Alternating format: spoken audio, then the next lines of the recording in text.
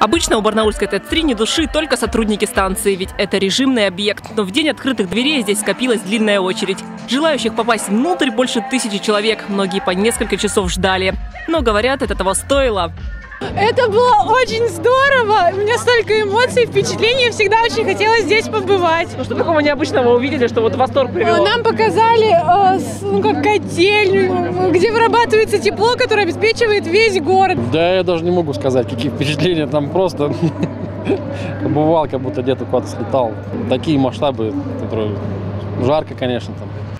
А вот некоторым повезло еще больше. Они прогулялись по лабиринтам современной ТЭЦ вместе с директором предприятия Игорем Лузановым. Самым частым вопросом гиду оказался, зачем летом отключают горячую воду. Ответ прост, чтобы выявить и устранить повреждения на теплосетях. Мы организуем такие мероприятия исключительно для того, чтобы познакомить жителей города, города Барнаула с производством, как получается электрическая энергия, тепловая энергия непосредственно изнутри, как это происходит, рассказать э, технологию производства, показать какие-то цифры, показать людей, которые э, это делают своими руками.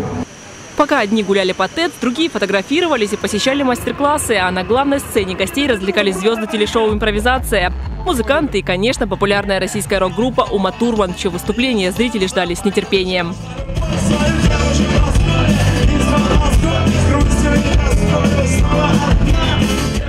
Кстати, в этом году фестиваль побил все рекорды по количеству посетителей, и за весь день праздник собрал около 11 тысяч человек, а завершилось все зрелищным фейерверком.